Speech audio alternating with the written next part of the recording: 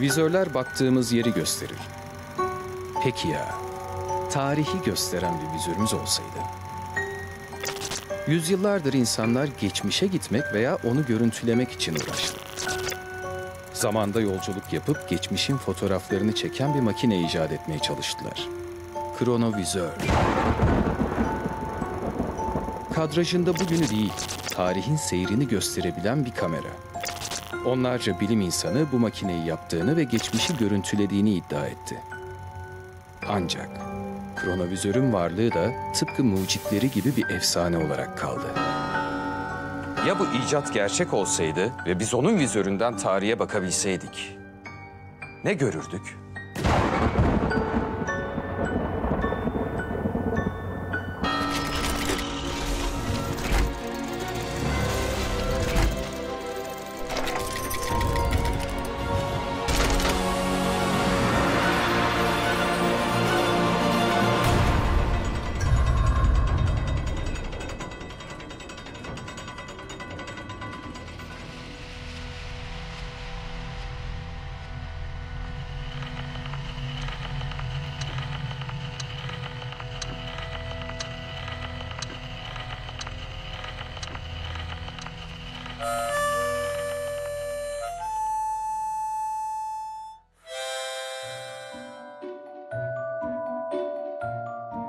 Yunan filozof Sokrat 72 yaşında idam edilmeden bir gece önce flüt isteyip çalmaya başlar.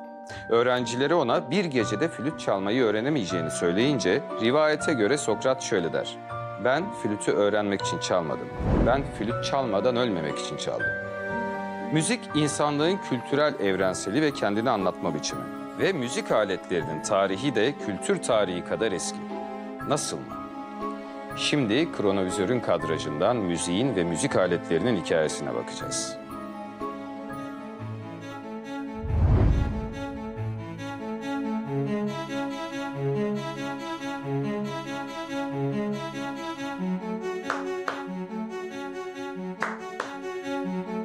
Bilinen en eski müzik enstrümanı alkıştır.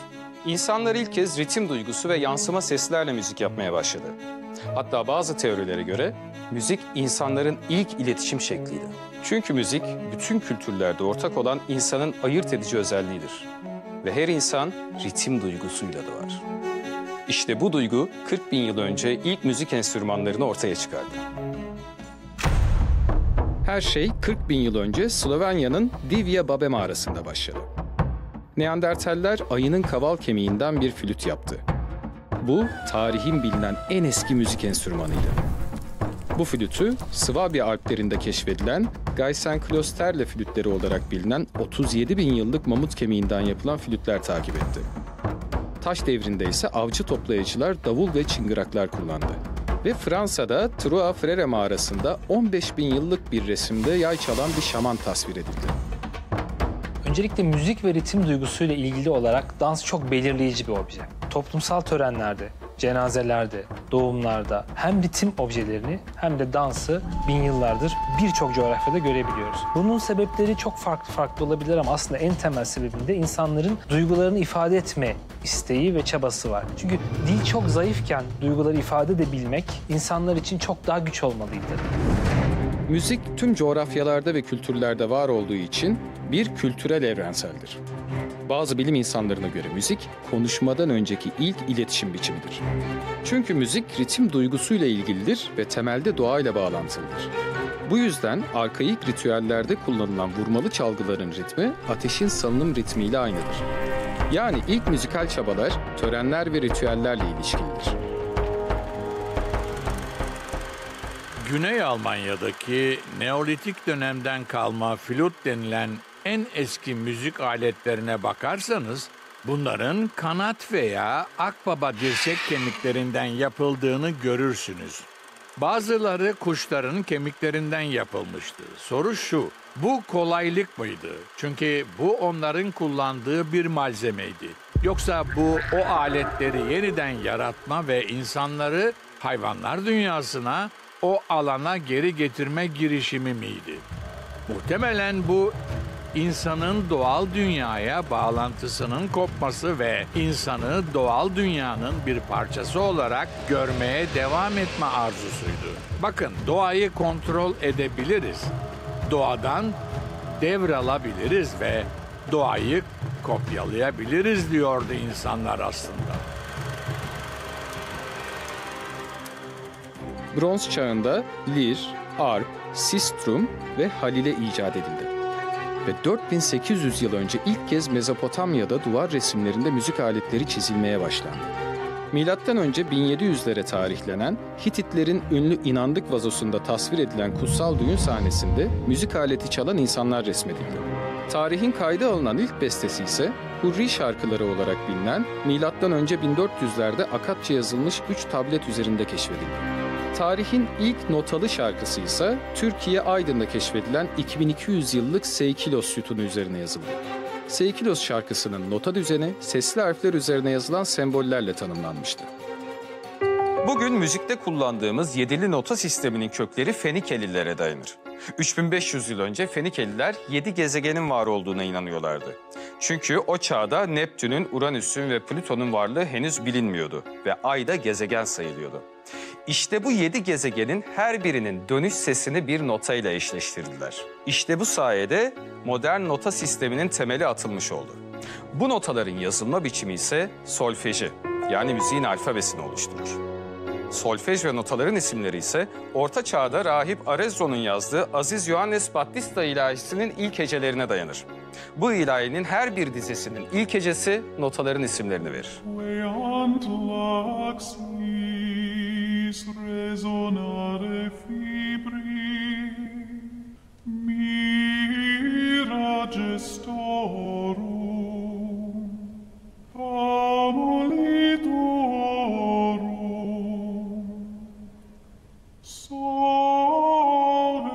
Aynı zamanda rahip Arezzo her bir oktav için beş satırı kullanan ve notaları bu beşli sisteme göre yazan ilk kişidir. Kesinlikle çok sayıda yazılı müzik olduğunu biliyoruz.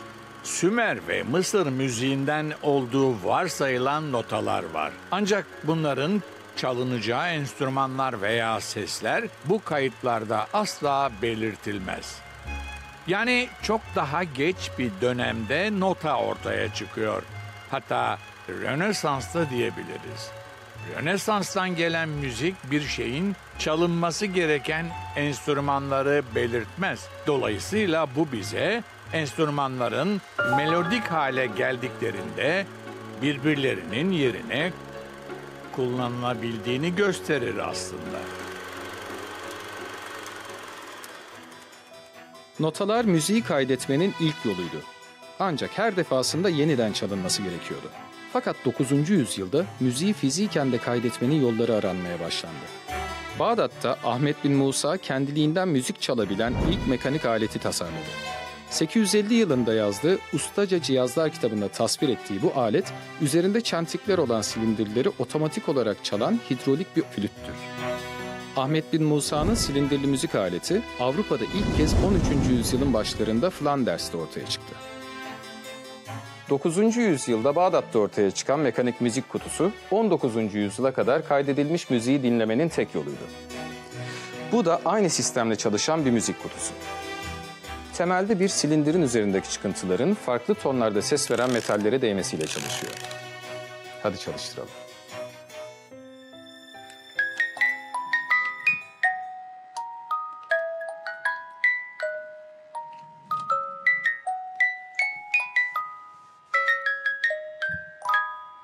Silindirdeki çıkıntıların her biri bir notaya ya da bir tona karşılık geliyor. Çalınacak beste bu silindirin metal yüzeyine mekanik olarak işleniyor.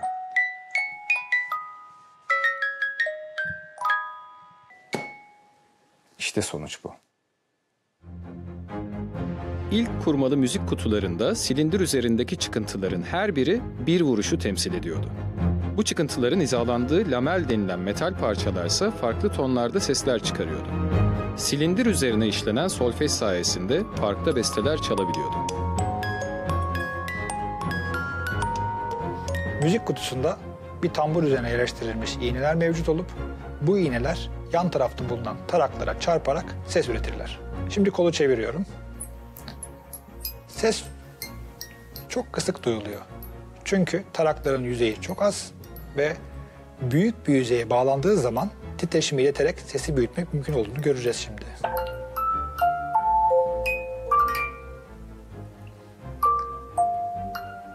Havaya kaldırdığım zaman sadece taraklar çevresindeki havayı titreştirirken aşağı indirdiğim zaman bütün masanın yüzeyi oynuyor ve çok daha büyük miktarda bir havayı oynattığı için daha net bir ses duyabiliyoruz. Yüksek şiddette dinleyebiliyoruz melodimizi.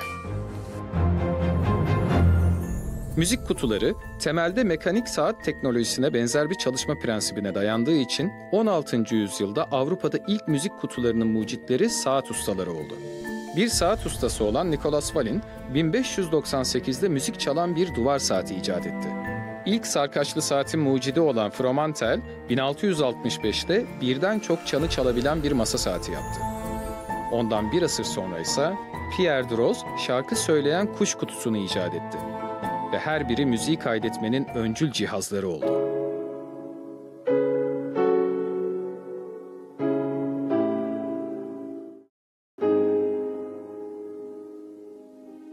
Aslında kurmalı müzik aletlerinin tümü bir piyanonun çalışma prensibine dayanır. Parmaklar yerine mekanik kollar ve silindirler kullanma fikri insanoğlunun müziği kaydedebilmesine imkan sağlamıştır. Ve bu teknik bin yılı aşkın kullanılmıştır. Fakat insanların farklı enstrümanları kaydetme ihtiyacı 19. yüzyılda bu teknolojiyi değiştirmek üzereydi.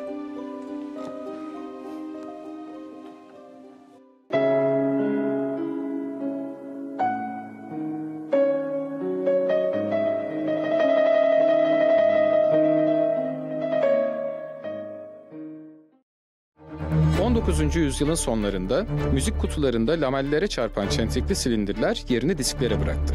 1870'te Almanya Leipzig'te Ernest Paul Reisner polifonu icat etti. Polifon temelde bir müzik kutusuyla aynı mantıkla çalışıyordu. Fakat silindirler yerine daha geniş yüzeyli ve dolayısıyla daha uzun besteler çalabilen metal diskler kullanılıyordu. Diskin arka yüzeyindeki pena çıkıntıları bir rotasyon motoru gibi her biri farklı tondaki lamellere çarpıyor ve buradan çıkan ses çoğaltılıyordu. Polifon piyano sisteminden farklı olarak müziği bir diske kaydetmenin ilk yoluydu. Bu diskler bir bakıma modern CD ve DVD'lerin atasıydı. Polifonlar tek tip enstrüman sesi çıkarmalarına rağmen varlıklarını günümüze kadar da korudular. Bir dönem cep telefonlarımızda kullandığımız polifonik seslerin kökeni bu 19. yüzyıl metal disklerine dayanır. Fakat bir adam tek tonlu müzikleri kaydetme fikrini bir adım öteye taşıdı ve insan sesini kaydetmeyi hedefledi. Thomas Edison. Edison, çağının yaygın müzik kutularından farklı olarak sesi mekanik etkileşimle üreten bir makine yerine sesi fiziksel olarak kaydedebilecek bir makine yapmayı istiyordu. Fonografi icat etti. Telefon icat edilince Alexander Graham Bell tarafından insanlar bu sefer sesi nasıl depolayabiliriz, saklayabiliriz arayışına giriştiler. Hemen bir yıl sonra Edison fonografi icat ediyor. Folyonun üzerinde çelik iğne izler bırakıyor ve böylece e, ses kaydedilmiş ve dinlenmiş oluyor. Fonograf, temelde metal bir yüzeye sesin titreşimlerinin fiziksel olarak kaydedilmesi prensibine dayanıyordu. Ses titreşimleri huni benzeri bir boruyla bir iğneye aktarılıyor ve iğne üzerinde oluşan bu titreşimler dönen bir silindir üzerindeki metal yüzeyde çizikler oluşturuyordu. Silindir yeniden oynatıldığında ise ses dalgalarının oluşturduğu bu izlerin iğnede yarattığı titreşim bu kez huni boruyla tekrar sese dönüşüyordu. Fonograf müziğin ve sesin kaydedilmesinde bir mühendislik devrimiydi. Edison sesin bir enerji olduğunu keşfetmişti ve bu enerjinin metal bir yüzeyde manyetik izler bırakabileceğini düşünmüştü. Haklı çıktı. Şimdi günlük malzemelerle 150 yıl önce Edison'un yaptığı şekilde sesi kaydetmeyi deneyeceğiz.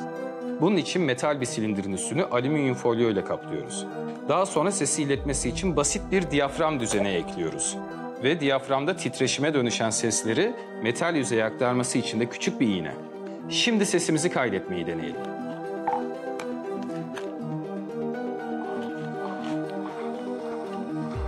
Bu insanlık için küçük, benim için büyük bir adım. Bu insanlık için küçük, benim için büyük bir adım. Bu insanlık için küçük, benim için büyük bir adım. Şimdi de fonografı ters yönde hareket ettirerek kaydettiğimiz sesi dinlemeye çalışalım.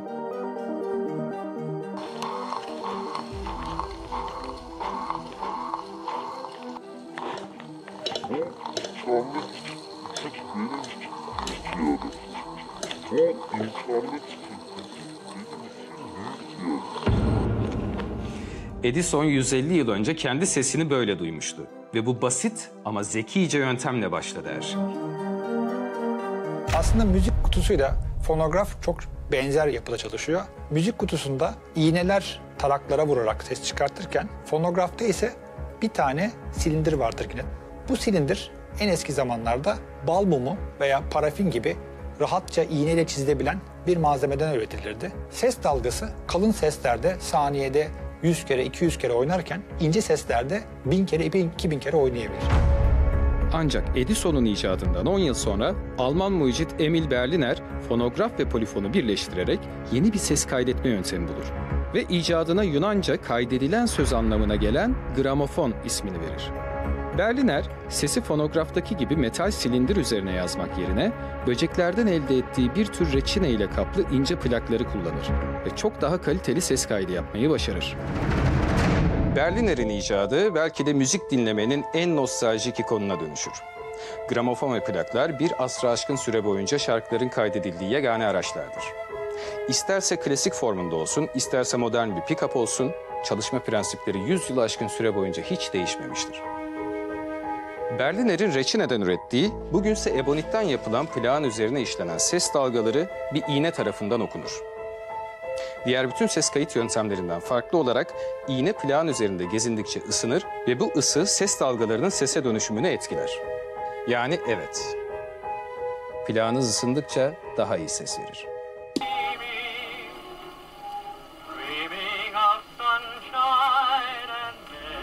Gramofonun çalışma prensibi fonografa oldukça benzer. Ses titreşimleri bir diyafram yardımıyla harekete dönüştürülür ve iğne aracılığıyla plaklar üzerindeki yivli çukurlara işlenir. Aynı işlem tersten yapıldığında plak üzerine kazınmış ses izleri iğne ile temas ettiğinde sese dönüşür.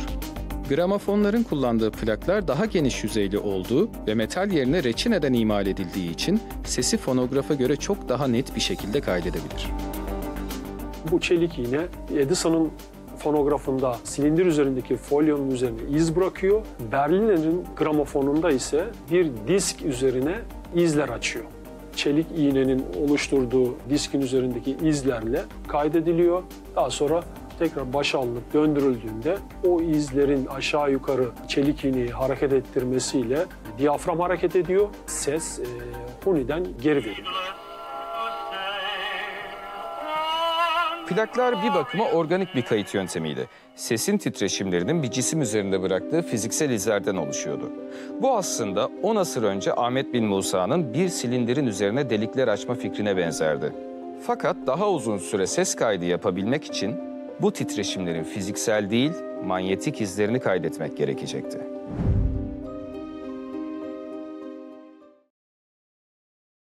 Gramofonlar on yıllar boyunca kaydedilmiş müziği dinlemenin en iyi yoluydu. Ta ki Danimarkalı mucit Valdemar Paulsen şerit kaydedici bir makine icat edene kadar. Paulsen, sesin titreşimlerinin fiziki izlerini kaydetmek yerine manyetik izlerini kaydetmenin mümkün olabileceğini fark etti. 1903'te ince bir şerit üzerine kayıt yapabilen ve geri çalabilen manyetik ses kaydediciyi icat etti. Tape Tape, ses dalgalarını bir telin üzerinde manyetik olarak kaydedebiliyordu. Ancak 60 yıl sonra Hollandalı mühendis Lou Ottens, tıpkı Berliner'in plakları gibi tape'in bir metal üzerine değil, plastik bir film üzerine ses kaydedebilmesine olanak veren bir icat yaptı. Kaseti geliştirdi ve sesi plastik şeritlerin üzerine kaydetme fikri, taş plakların yarım asırdan uzun süren saltanatına son verdi. O tanzin icadı sesin kaydedilmesinde en az Edison'unki kadar önemli bir kırılımdı.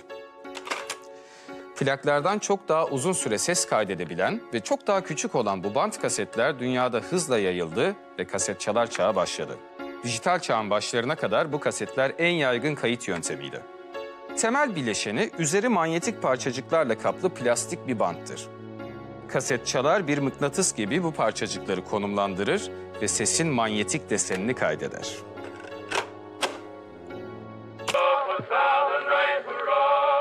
Bunlarla alakalı ilk çalışmayı Danimarkalı Paulsen yapıyor. Paulsen şunu fark ediyor. Bir manyetik kafa, bir mıknatıs diyebiliriz. Ee, onun önünden geçen manyetik özellikli bir telin ses dalgalarına göre değiştiğini fark ediyor özelliklerinin ve bundan yola çıkarak sesi bir manyetik telin üzerine kaydedebileceğini keşfediyor. Kasetin içinde yine plastik esaslı bir e, şerit var ve ses dalgaları bu manyetik şerit üzerine kaydediliyor. Sesi bir kasetin üzerine kaydetmek, temelde ses dalgalarının oluşturduğu manyetik desenleri kaydetmektir. Bir kaset bandını içinde demir tozları olan bir şerit gibi düşünebiliriz. Manyetik kaydedici sesin titreşimlerini diyafram yardımıyla elektrik sinyallerine çevirir. Her bir sinyal bir mıknatıs yardımıyla hareketli banda temas eder ve bandın içindeki demir tozlarının konumunu değiştirir. Her bir ses dalgasına karşılık gelen elektrik sinyali band üzerinde farklı manyetik desenler oluşturur. Kaset yeniden çalındığında bu desenler yine bir mıknatıs yardımıyla sese dönüşür.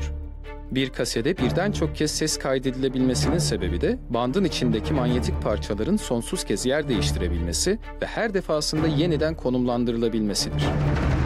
Fonograf ve plaklardan farklı olarak teyp ve band kasetler sesin manyetik desenini kaydederler. Yani ses titreşimlerini fiziki izlere değil, manyetik izlere çevirirler. Bu manyetik izleri daha iyi anlamak için buradaki basit ses silindirini kullanabiliriz. Bir tüpün içine hapsedilmiş olan sesin yarattığı izleri buradaki küçük köpük parçalarında görebileceğiz. Şimdi bir deneyelim.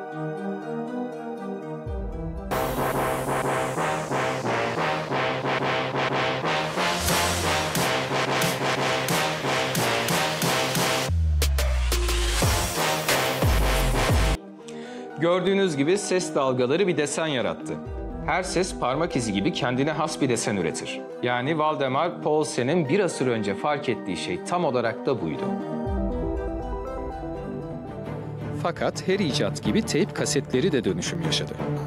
Ortaya çıkışından 20 yıl sonra bu kez sesi sayısal değerleri çeviren datlar yani sayısal bantlar ortaya çıktı. Klasik bir kasetin yarısı büyüklüğünde olan datlar, sesin sayılardan oluşan bir koda çevrilmesi ve bu kodun manyetik desenlere dönüştürülerek kaydedilmesi prensibine dayanıyordu. Yani klasik teyp bandından farklı olarak doğrudan ses değil, sesin kodları manyetik desenlere çevriliyordu. Bir taş plağa en fazla 15-20 dakikalık bir kayıt yapılabilirken CD'ye 75-80 dakikalık kayıt yapılabilir. CD şekil itibariyle yine bir disktir. Plaktaki gibi mekanik kontak yoktur. Burada ise bir lazer ışığı CD'nin üzerindeki yansıtıcı yüzeye gelir. Kayıt yapılırken lazerin ışığıyla oradaki yansıtıcı yüzey yakılır ve yansıtma özelliği yok olur. Yani bir nevi bir çukur oluşturur. Çukurlar yansıtmaz ışığı, geri kalan aynalı kısımlar yansıtır. Yansıtmayan kısımlar sıfır, yansıtanları bir olarak algı- algılarsak sıfır bir yöntemiyle müziği kaydeder. Dijital çağ ile birlikte ses ve müzik de birler ve sıfırlardan oluşan bilgisayar kodlarına dönüştü. Ses kayıt için bilgisayar teknolojisinin kullanılmaya başlanmasıyla sesi dijital kodlar olarak kaydetme yöntemi tüm klasik kayıt yöntemlerinin yerini aldı. Plaklar, kasetler, datlar bir kenara atıldı ve müziği kaydedip saklamanın temel araçları mikroçipler oldu. Canlı müziği hiçbir aracı kullanmadan sadece enstrümanları çalanları bir sahnede dinleyerek zaman geçiriyorsanız eğer bu başka bir deneyim olacaktır. Ya da canlı müziği hoparlörler üzerinden dinlediğinizi düşünelim. Bunların ikisi farklı sonuçları ve farklı deneyimler yaşatacaktır. Müzikteki asıl olan bu yüksek çözünürlüğü yakalama ihtiyacı. Bu yüzden artık yeni teknolojiyle birlikte yüksek çözünürlüklü kayıtlar canlı müziklere göre çok daha doyurucu diyebilirim.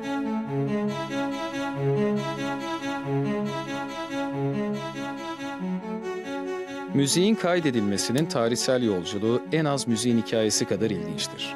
Orta Çağ'ın demir silindirlerinden kurmalı müzik kutularına, 19. yüzyılın polifonlarından Edison'un fonografına 11 asırlık bir teknolojik dönüşüm süreci.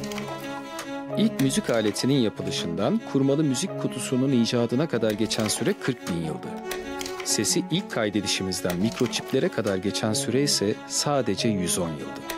Tam 1900 yılında son Habsburg İmparatoru Franz Joseph'in bir fonograf kaydıyla bu icat için mühendislere teşekkür ettiği o ikonik andan bugüne yeryüzünde 230 milyondan fazla şarkının kaydedildiği düşünülüyor. Bu baş döndürücü ilerlemenin temelinde ise tek bir dürtü var. Ve her şey sadece bununla başladı.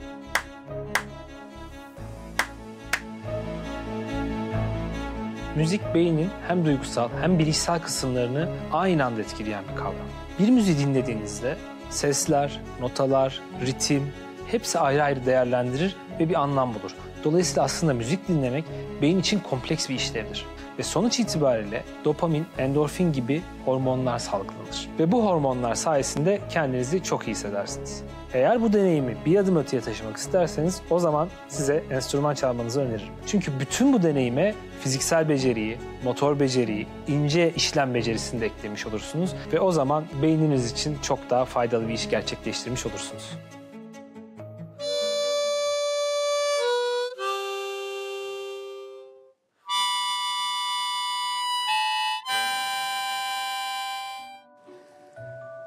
Mozart müzik notalarda değil, aralarındaki sessizliktedir der.